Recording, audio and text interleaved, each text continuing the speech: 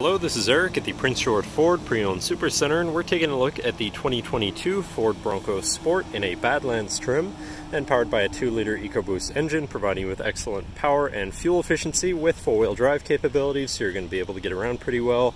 But let's take a look inside. First looking into the back, we have a pretty spacious cargo area that can always be expanded by folding down the rear seats, and you have a rugged cargo floor here that uh, can be lifted up and out of the way to reveal the full-size spare in the back with some extra room around it. And on either side you have these little tie-down points with lassos on them, 12 volt power outlet, 110 volt power outlet, and on this side you have the button to activate your articulatable uh, cargo lights, which is pretty nice too. And then looking into the back seat you have comfortable seating for three with a full leather interior, fold out armrests with two cup holders, as well as having a 110 volt power outlet, USB and USB-C. And the backs of the seats have these zippered pouches, as well as MOLLE rigging so you can hook equipment onto there. This vehicle does have a remote start, so no need to go outside on those cold mornings to warm up your SUV. And looking in, you have power windows, power mirrors, and power locks, as well as a fully power adjustable driver's seat.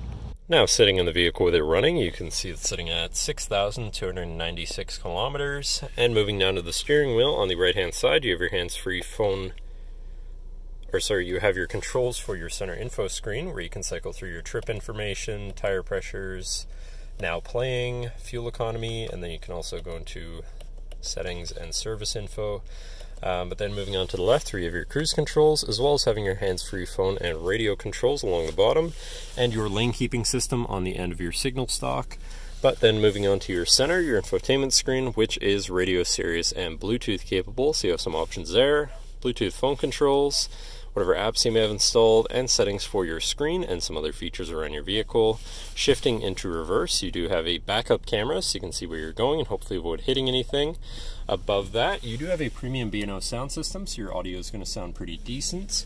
But then moving down, you have your media controls, hazards, auto start stop shut off, and your camera view for your front facing camera as well. Um, and then moving down, you have a little cubby area here then your climate controls with dual zone front climate, heated front seats, and a heated steering wheel so you can stay cozy. Down below you have this cubby area with a 12 volt USB and USB-C as well as a wireless charging pad so if your phone's compatible throw it on there to power or charge.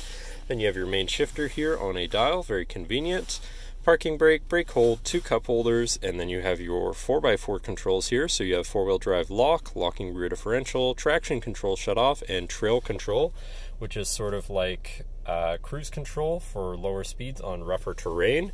And then you have your GOAT mode selector. So you have normal, eco, sport, slippery, mud ruts, sand, and rock crawl modes. You can customize your driving experience quite a bit there. And then you have your center compartment slash armrest, which is pretty spacious inside with a USB and USB-C.